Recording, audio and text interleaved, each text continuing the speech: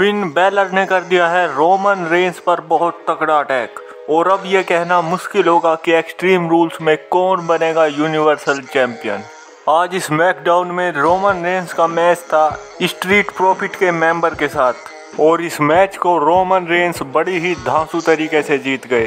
Roman Reigns ने लगा दिया एक लॉक और जीत गए मैच पर मैच के बाद रोमन रेंस ने ऊसोज को भी बुला लिया और स्ट्रीट प्रॉफिट के मेंबर की धुलाई करनी शुरू कर दी। पर तभी रिंग के ऊपर प्रकट हुए डीमन फिन बैलर और डीमन फिन बैलर ने अकेले ही रोमन रेंस और ऊसोज की धुलाई करनी शुरू कर दी और रोमन रेंस की तो बहुत ही बढ़िया तसल्ली कर दी। उन्होंने चेयर उठा के रोमन रेंस को खूब मारा। अब एक्सट्रीम रूल्स में होने वाले Roman Reigns versus Finn Balor के मैच में फिन बैलर के जीतने के चांस ज़्यादा है। क्योंकि डीमन फिन बैलर अभी तक नहीं आ रहे हैं। और रोमन रेंस का मैच ब्रोक लेजनर के साथ क्राउन जुअल में फिक्स हो चुका है।